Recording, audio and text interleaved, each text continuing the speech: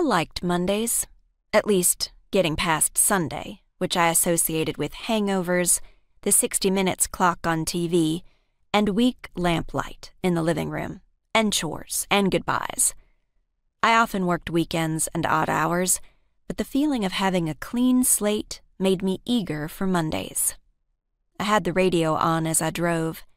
The AM station run by a teacher at the high school was mostly Steers football coverage, but also the police blotter, the weather, and occasional local stories reported on by him or his students.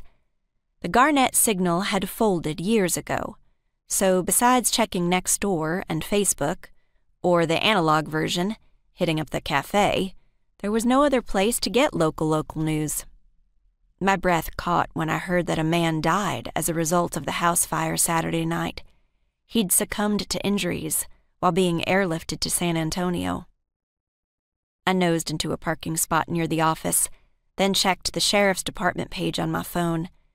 No names. Smoke in the air had been part of the sticky feeling I'd carried with me all of Sunday a lingering sense all was not right. I turned the radio off and got out of the bullet, holding tight to the clean slate feel, though that animal part of my brain was lit up again, telling me, run. McIntyre Investigations was on the second story of a red brick building right on the square.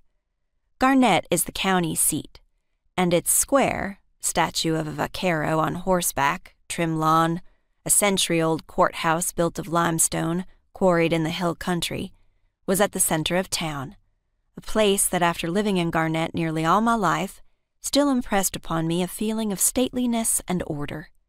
Sudden beauty, even. Our office was as old as the courthouse, but was in sad need of a paint job, among other repairs.